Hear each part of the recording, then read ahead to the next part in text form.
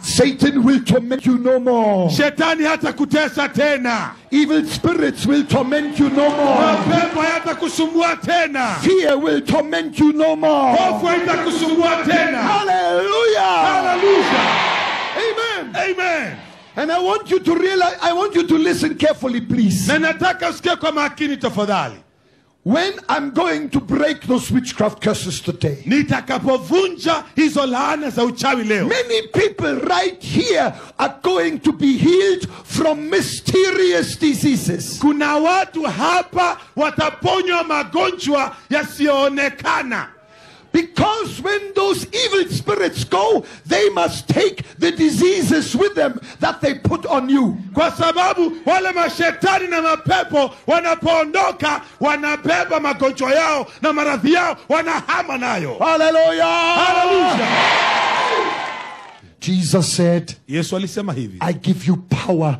over all the power of the devil. na kupatia uwezo na nguvu kushinda nguvu zote za shetani Jesus had the authority to give us this power because Jesus had crushed the head of the serpent. yesu alikuwa na mamlaka ya kutupatia nguvu hizo kwa sababu ni yesu alikanyaga kichwa cha nyoka On strength of that authority, kwa sababu ya mamlaka, mamlaka yale I will now cast out every witchcraft spirit. nitakemea kila laana ya uchawi na urogi In the name of Jesus, I will break the power of every spirit of fear. katika jina la yesu nitavunja kila roho na kila hofu And I will cast out every spirit of infirmity. na kila udhaifu na kila unyonge Diseases and sickness will leave your family now.